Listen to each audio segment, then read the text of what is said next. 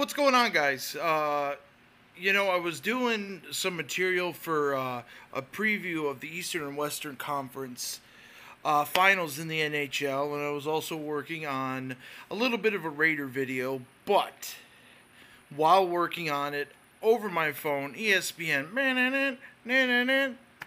has broken the news that both Kam Chancellor and Doug Baldwin have been released by the Seattle Seahawks. And you could say, well, who the shit cares? We're a Raider channel. Still breaking news. I mean, the NFL, that's a huge, huge thing. Um, both guys, I, according to some sources, both guys failed their physicals, which means that the Seahawks have the option to terminate their contract. It doesn't mean that they're not coming back at a smaller price. But still, if this is what's going on, and this is what the Seahawks wanted to do, it's a pretty big story. Uh, you know, Doug Baldwin has always been around as the number one receiver for the um, for the Seahawks, and Kam Chancellor was one of those guys in the Legion of Boom. I mean, it's just it's crazy, crazy, crazy, crazy. And you know, I, I thought about it, and you know, I say it's crazy, but I've got to be a devil advocate against myself. Is it that crazy? It's 2019.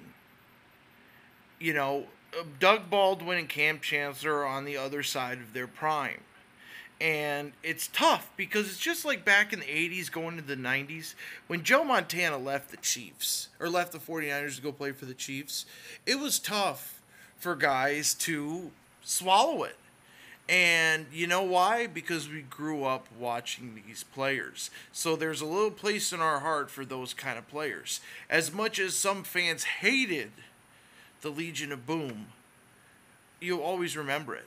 You will always remember it of how just crazy that Legion of Boom was and how many people they beat the shit out of cleanly beat the shit out of. Now, not many people Richard Sherman fans, but I like Browner, I like Thomas, and I like Chancellor.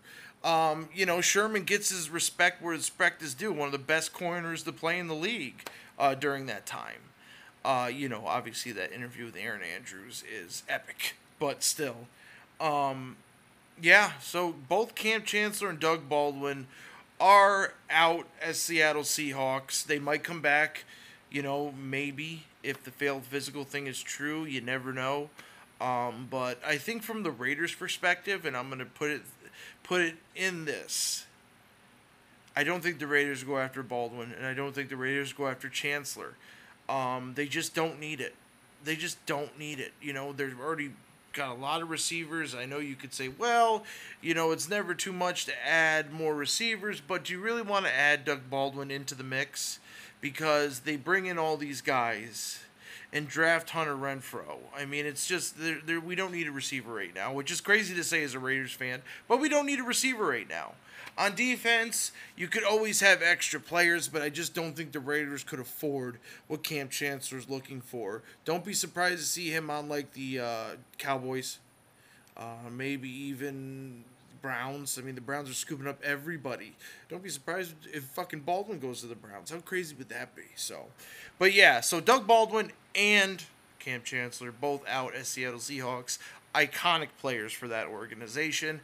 Always tough to see because we grew up watching them and it was a lot of fun to watch them. So, all right, guys, we will see you soon. I'm gonna have a couple videos coming out quick, but uh, you know that's part of YouTube, right? All right, we'll see you guys soon. Go Raiders.